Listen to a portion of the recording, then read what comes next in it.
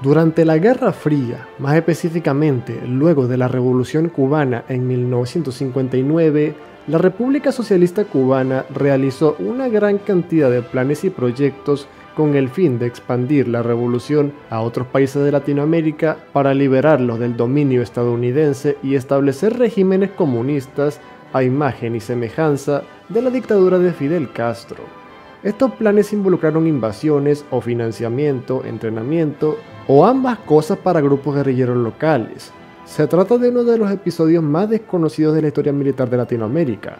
Por esta razón, hoy te hablaré sobre las intervenciones cubanas en Latinoamérica.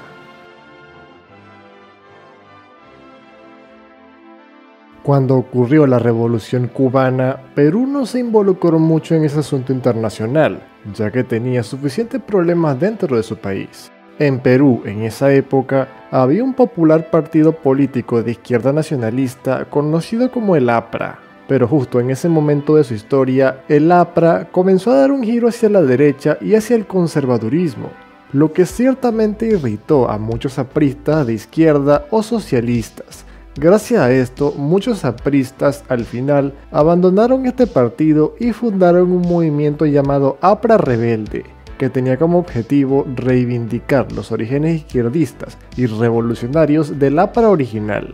El Perú le ofrecía condiciones muy favorables a Cuba para comenzar una revolución allí. Se trataba de un país multicultural con una gran desigualdad social, con una gran población indígena que no estaba bien integrada en el país los cubanos pensaron en utilizar a estos indígenas como carne de cañón para pelear contra el gobierno. Como dijo el Che Guevara, en el Perú y en Bolivia utilizaremos a la indiada para promover la revolución. De esos hay miles y son fácilmente reemplazables. El tipo de lucha armada que Cuba quería para el Perú era el foquismo. En términos resumidos, el foquismo consiste en la creación de un grupo revolucionario en algún punto geográficamente aislado y con mucha población campesina, con el fin de, con el tiempo, crear un foco revolucionario que con las armas y las ideas expanda la revolución para todo el país. Al final, lo inevitable terminó ocurriendo y el resentido APRA rebelde terminó estableciendo comunicaciones con Cuba, más específicamente con su líder, Luis de la Puente Uceda, quien recibió entrenamiento guerrillero en Cuba y regresó al Perú con el armamento y el conocimiento suficiente para comenzar la lucha armada.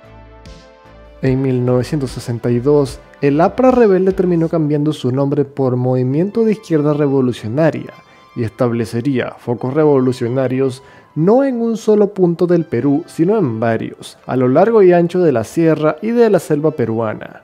Luis de la Puente Uceda era un hombre con una gran oratoria, por lo que logró cautivar a un pequeño grupo de peruanos que se le unieron a su causa. Sin embargo, el grueso de la población indígena peruana, ajena a cualquier evento histórico referente a Guerra Fría, comunismo o capitalismo, no se involucró en este conflicto, por lo que el principal pilar del proyecto de revolución en Perú el de utilizar a los indígenas como soldados, fracasó rápidamente. Además de esto, los diferentes focos revolucionarios del Perú estaban en manos de diferentes grupos guerrilleros que tenían muy poca comunicación entre sí, por lo tanto, no podían coordinar una acción unificada contra el gobierno peruano. Lentamente, el proyecto de revolución en Perú fue fracasando. Finalmente, en 1965, Luis de la Puente Uceda, junto con una gran cantidad de guerrilleros, fueron asesinados en un combate contra el ejército peruano. En este punto, el movimiento de izquierda revolucionaria, sin su líder y con un montón de pérdidas humanas y materiales, fue rápidamente derrotado. Es importante mencionar que este proyecto de revolución en Perú tuvo una consecuencia muy importante, y es que unos años más tarde, el ejército peruano, consciente de los problemas sociales del país y para evitar una guerra civil o revolución armada, dio un golpe de Estado y llevó a cabo el gobierno revolucionario de las Fuerzas Armadas, que introdujo reformas de justicia social, entre ellas una reforma agraria con el fin de distribuir más igualmente las tierras del país. Esta fue la intervención cubana en el Perú. Si te gustó el video y tienes más interés en aprender sobre las injerencias de Cuba en Latinoamérica durante los años 60, 70 u 80, te invito a visitar la lista de reproducción de esta interesante miniserie del canal. Si el video te gustó, por favor, dale like y suscríbete. Comparte este video con tus amigos y hasta la próxima.